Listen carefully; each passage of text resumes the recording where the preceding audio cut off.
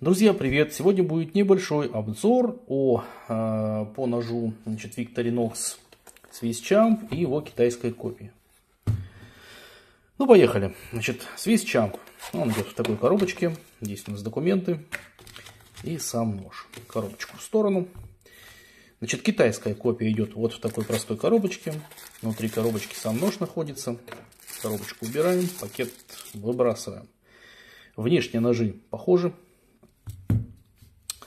Вот так вот они выглядят. Ну, сразу видим отличие. То, что оригинальный нож, он блестящий, черный, насыщенный черный. И э, нож, э, китайца, китайский нож, китайская копия, она такая блеклая, э, черно-серая. Так, поехали. Значит, первое отличие это стоимости. Стоимость китайской копии что-то порядка полутора тысяч рублей, по-моему, 1400 с чем-то на Алиэкспресс. Ну и вы знаете что, сам Swiss Champ, он у нас стоит больше 10 тысяч рублей. Э, официально намного больше, так будем говорить. Но можно купить его где-то в пределах от 9 и выше тысяч рублей в данный момент. Итак, поехали. Значит, что мне сразу бросилось в глаза? Бросилось в глаза, конечно же, э, штопор и то, что там есть отвертка. Так вот, в оригинальном ноже у нас вот такая вот отверточка. Классная, четкая. И в копии у нас пришла отвертка уже сломанная. Уже сломанная. Сложно открывается штопор. Ну, по крайней мере, я думаю, это можно сделать. Итак, штопор открывается. Здесь у нас нет отверстия под булавочку. В оригинале вы знаете, что идет булавка. Вот она у нас здесь, в этом месте. Булавочку убираем. Итак, отвертка сломалась. Неудивительно на самом деле, потому что сам шток отвертки, он не был полностью заплавлен вот в эту вот э, ручечку, да, ручку. Вот. Здесь у нас отвертка сама по себе короче, и сама рукоятка, она такая поплотнее, помощнее. Вот, убираем ее, и можно ее уже выбросить в таком случае. Значит, эту отверточку мы давайте положим на место, закрутим в оригинал, и будем уже знать, что у нас не оригинал без отвертки и оригинал с отверточкой. Итак, по толщине. Оригинал шире, чем копия. То есть шире и получается мощнее. То есть все вот эти вот промежутки, они более мощные и более серьезно сделаны. Так, далее. Все инструменты, которые здесь есть вне оригинале, вне оригинале, достаточно замыленные. Вот, к примеру, я вам покажу. Давайте посмотрим на ну вот что у нас здесь. Сложно открывается. Это у нас такая отвертка, да, которая вот углы все э, э скруглены, углы все скруглены. И она достаточно тупая, то есть ну, тупенькая такая отверточка. Естественно, здесь, если мы в оригинале посмотрим, все сделано четко, ровненько, углы все прямые, и этим инструментом надо и хочется пользоваться.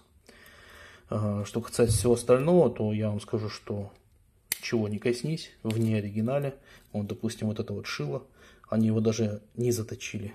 То есть эта сторона, она такая же точная, как и а, обратная. То есть оно просто для того, чтобы оно было. Оригинальное шило, конечно же, остренькое и можно работать. Это оригинальное шило. Остальные инструменты, которые я даже вот и буду доставать, они в принципе сделаны, чтобы просто были.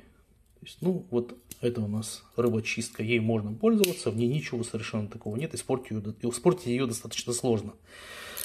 Значит, э, пила. Пила есть, но я вам сразу скажу, она совершенно не агрессивная. То есть, видите, я спокойно вожу по пальцам. Пилить, возможно, что-то ей, конечно, можно, но совершенно это не пила, которая а, есть в оригинале. В оригинале она очень агрессивная и острая. То есть вот так пальцем я уже здесь не повожу, естественно. То есть эта пила будет работать, будет работать четко. Все остальные инструменты, кроме ножа, замыленные. Ребята, замыленные. То есть отвертки все скруглены. Все дешево. Ну, в принципе, в принципе, за такие деньги, да, этим можно пользоваться. Даже не закрывается нормально, то есть он задевает за вот эти вот э, э, щечки, которые вот э, стоят между инструментом. То есть, ну, сделано все достаточно похабно. Э, надфиль, надфиль. Ну, можно, конечно, им что-то наверняка сделать, но если мы откроем надфиль в оригинале, мы увидим, насколько сильно отличается, отличаются инструменты оригинального жанра, так будем говорить, да, вот, ну вот он надфиль, вот он надфиль, пилочка. Работает прям очень здорово, видно, насколько четко здесь все сделано, насколько четко и как похабно сделано в китайской копии. Все инструменты, кроме ножа, как я уже говорил, то есть клиночки в принципе, их испортить достаточно сложно, то есть ими можно работать. Единственное, что клиночек я уже открывал, у оригинала он большего размера, чем у копии несколько, ну где-то примерно на миллиметра 3. Он подлиннее, чем у копии. Вот это оригинал. Вот. Заточить и можно работать. В целом, за эти деньги вы получаете, конечно же, нож, которым с горем пополам можно пользоваться. Но это далеко не Викс, совершенно далеко. Хотя инструментов здесь много. Есть даже зубочистка, есть пинцетик. Вот такой вот. Что пинцет, что зубочистка сделаны тоже намного хуже, чем оригинальные. Оригинальные все-таки совершенно вот видно, что металл совершенно другой. Он четкий, хорошо пружинит, не сгибается, не портится. Зубочистка больше. Ну и в оригинальном ноже присутствует еще ручка, которой в неоригинале нет, потому что это было слишком дорого. Собственно говоря, короткий обзор. Вот такой вот. А, да, ну давайте посмотрим еще на пассатижи, так называемые, да, плоскогубчики. Это оригинальные плоскогубцы. Здесь не оригинальные плоскогубцы. В принципе, ими тоже можно работать. Я думаю, что работать будет не хуже. То есть вот это вот не оригинал, это оригинал не хуже. Единственное, что тут ход прямо мягонький, такой плавненький. Это чувствуется, чувствуется здорово при работе. Здесь он такой более грубый. Вот. Но с другой стороны, ну и что? Можно работать, в общем-то.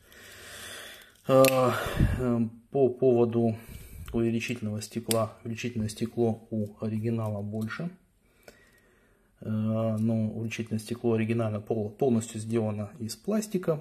А у копии увеличительное стекло сделано в обойме из металла. И оно меньше, меньшего размера. Вот вы видите, да, насколько меньше. Вот это копия, это оригинал. Ну, также им можно пользоваться, по сути. А, в общем-то, за эти деньги, да, конечно, полторы тысячи рублей, да ради бога, там 1400 с чем-то, даже если полторы, ну, это нож. Нож за полторы тысячи. И нож за 9-10 и более тысяч рублей. Вот вам краткий обзор, вам решать, что покупать и чем пользоваться.